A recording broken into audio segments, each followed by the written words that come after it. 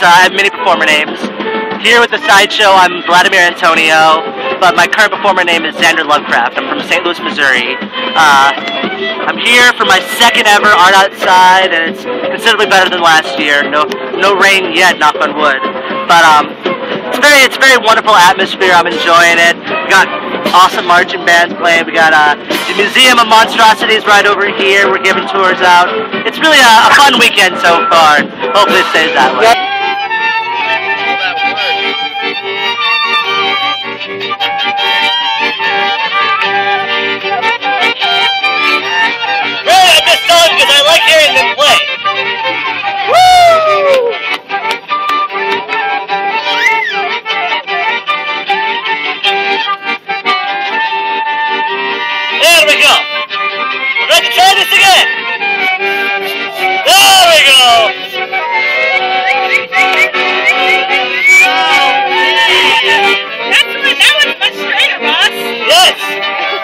¡Hola,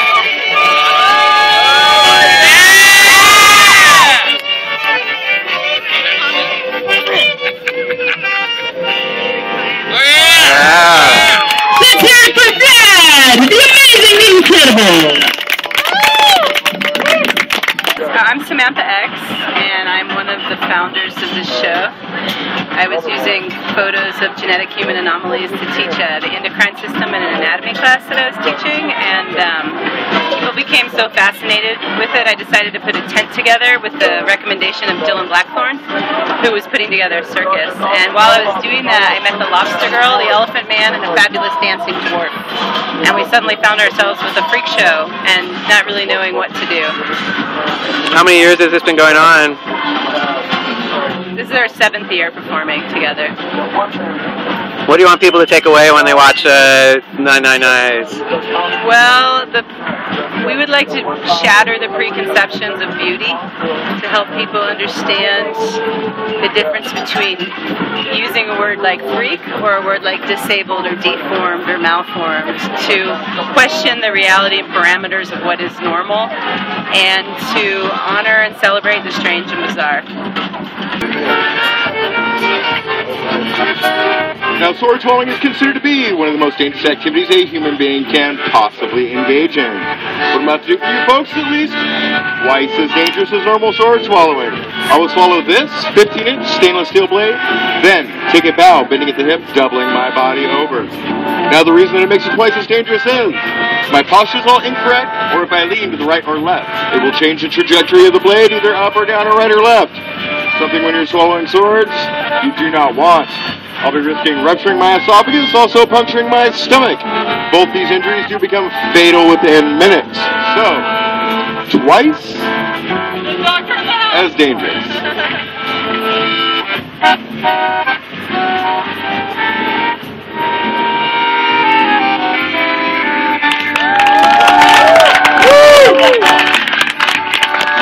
Thank you. Now, a 15 inch blade is the shortest sword you can swallow and still be a uh, respectable sword swallower.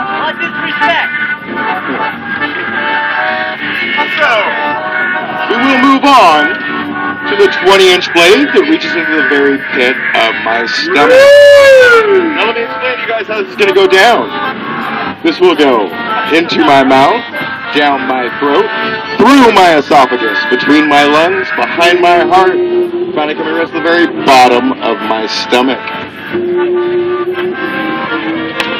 Now, there really isn't much more to say about this besides down the hatch without a scratch.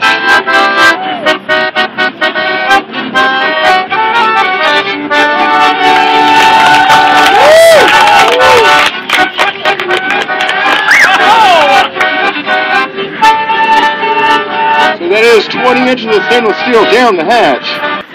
Well, I, I started doing performing. I started performing about two and a half years ago. Uh, I, I was friends with a lot of the people in St. Louis's burlesque and performance community, and uh, they introduced me. To, uh, they introduced me to like the rest of the group, and they're like, "We have this idea for a sort of like an old timey revival medicine show. We're going to feature elements of burlesque, and belly dance, and we're going to have a band playing with it." And, and I'm like, "Absolutely! This it sounds like it's going to be fantastic." So signed on. We did two shows. We did one in St. Louis, and then we went across state Kansas City, uh, my second home now, and uh, we had an awesome show there, and it was like this realization we I had that night at, at the Kansas City gig. It was about two in the morning. We're hanging out in this uh, performer's loft space afterwards. I'm sitting around this this table. A lot of my friends are kind of passed out, but I'm sitting there with the band leader. I'm like, this has been such an amazing fucking night. I want to have nights like this for the rest of my life. And I've performed with uh, a vaudeville troupe in Kansas City. Performed with 999 Eyes. I'm with um, the Baker's Carnival. Just this past summer, I went to Scotland to work in the Edinburgh Fringe Festival with uh, the uh, creator of the London Burlesque Festival. He started a show there, and uh, I became an international performer for the first time in my life. And hopefully, I get to go back, maybe go to London next year. I've, I've got big aspirations, big dreams. Uh, How, how, how do you feel if uh, did, did people ever say that what you do is exploitive, or I mean, Um, people know that. Well, I, I like to use a quote from uh, the Blues Brothers. I've been exploited all my life. I mean, uh, I, I I walk out the street and I'm exploiting myself just being out there. I uh, I haven't gotten it as much, thankfully, because like people understand I love this. This is everyone who I uh, all my friends know that I've been. I'm the youngest of three kids already in my family. I'm starved for attention. So it only made sense to, for me to go onto the stage and express outward and be uh, be an artistic creature of the world. And um, my family is finally gum- uh, accepting it. My mother, bless her heart, last year when I came to Austin for the first time, I was gone for a month and she was uh, just a big bundle of nerves. The moment I couldn't get a hold of her, she was worried. But uh, ever since the Scotland trip, she's been so mellowed out. My father, the, my, the man who actually was like, dude, go out there, you know, see the world, do your follow your dreams, is now in my mother's role. She's not. He's now the word. Oh, thank you. uh, my, my, they've switched roles, and he's now the worry wart, and she's the go out there, follow your dreams. So hopefully they'll both, you know, be a, a little bit happier for me soon. But uh, I'm just out following my dreams. I'm enjoying every moment of it. I'm not going anywhere. I'm not quitting anytime soon. I, I was noticing some of the acts, like uh, the Black Scorpion, are kind of telling jokes about the conditions and what their lives are like. Do you Yeah. think that this kind of thing can shed positive light on that? Um, that- it shows that you know, uh, Black Scorpion and I were obviously born with our deficiencies or deficiencies, whatever. But um, over time, like we've grown to be able to laugh at ourselves. Like I used to, about three years ago, I would never think of doing a, a sideshow because I was very, uh, I was very guarded. I'm like, I don't know. I'm not gonna put myself out there, but like I finally had that epiphany. I'm like, I'll put myself out there, I'll entertain people, and I'll make money for it. Pretty much, it's it's the perfect job for me. Don't get to work that much. I get to be out here in beautiful Texas countryside with all these beautiful stinking hippies. No offense. no, no, none taken, none taken. And uh, you know, get to uh, and share my art and my love with them. I'm sharing myself with them. That sounds a little weird now, but it's it's what I want to do. So I couldn't be happier. Great, thank you. Thank you. One, two. You guys are gonna let me just do that, right? No, no, no, no. You see, if you draw a line from here to here, and from ear to ear, you get the middle right about here.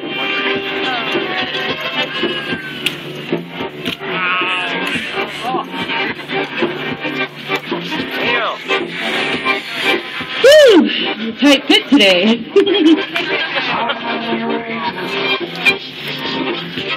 Oh, I almost sneezed. I would have nailed you right there. I would have nailed you. I would have nailed you. Whew. So now the idea is to take this out.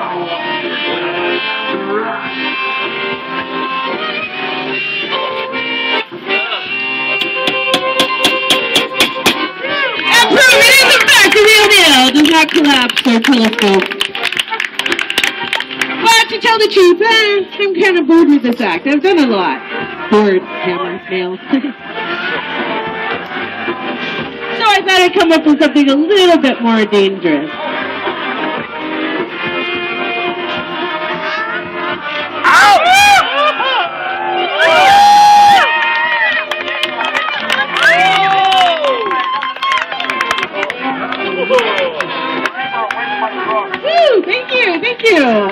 Felt that one. Thank you very much. I felt it too.